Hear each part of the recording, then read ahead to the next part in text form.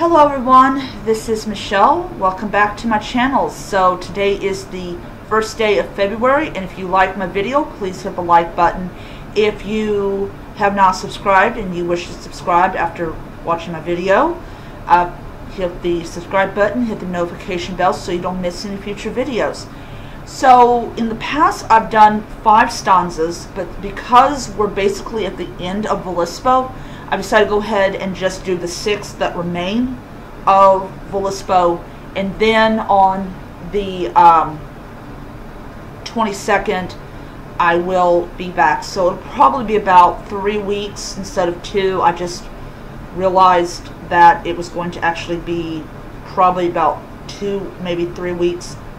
But I'll be back on the 22nd with the uh, Havamal, which is actually the longest of the uh, poems. So um, here goes. Okay, so this is 61 through 66.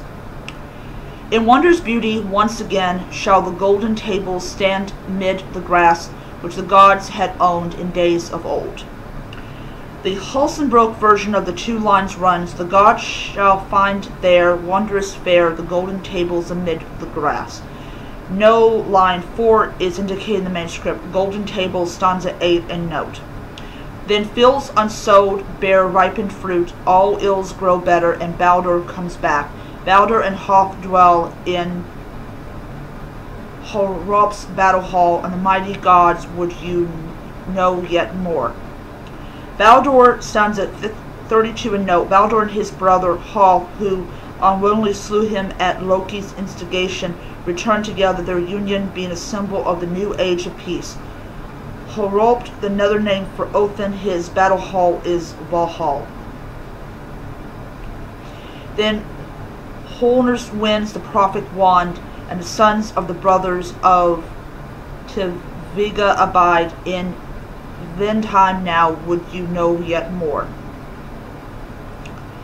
Uh, no line 2 is indicated in the manuscripts. Hönir, stanza 18 note, in this new age, he has the gift of foretelling the future. To Vega, the twofold, another name for Othin. His brothers are Vili and Ve, Little is known of them, and nothing beyond this reference of their sons. Vindheim, home of the wind, heaven. Okay.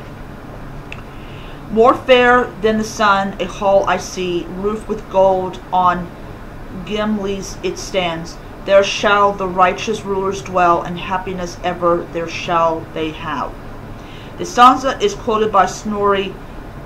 Gimli, Snorri makes this the name of the hall itself, while here it appears to refer to a mountain on which the hall stands. It is home of the happy as opposed to another hall not mentioned for the dead.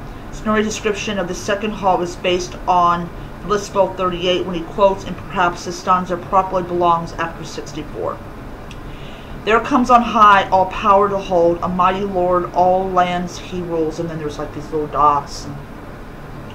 Uh, the stanza is not found in Regius and is probably spirituous uh, no lines is indicated in the Holzbrook version, but later manuscript rule ma paper manuscripts add two lines running. Rule he orders and rights he fixes, laws he ordains, and ever uh, and ever shall live. The name of this new ruler is nowhere given, and of course the suggestion of Christianity is unavoidable. It is not certain, however, that even this stanza refers to Christianity, and if it does, it may have been interrupted long after the rest of the poem was, was composed. From below the dragon dark comes forth, Nithhogg flying from Nithafjoll. The bodies of men on his wings he bears, the serpent bright, now must I sink.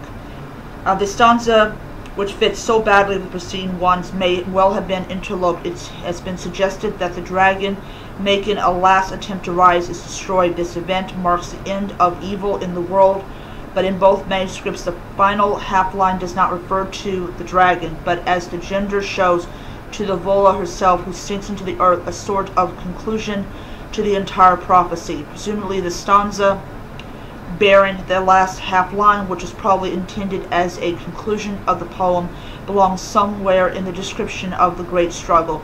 Nithhogg, the dragon at the roots of Yggdrasil, uh, Dark Crags, nowhere else mentioned. Must I, the manuscript have, must she. Alright. So that is the end of Voluspo.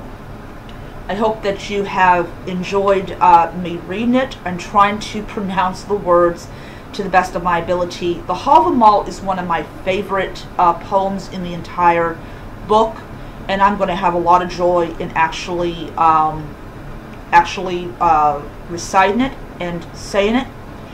Um, but yeah, so thank you everybody who has uh, been with me from the beginning of doing these videos. I really appreciate it. Uh, as I said, I will be uh, I won't be doing these for two weeks, but I am going to uh, enjoy doing them when I get back to them. So until next time, may you be happy, healthy, most importantly be safe, and held to the gods. Bye.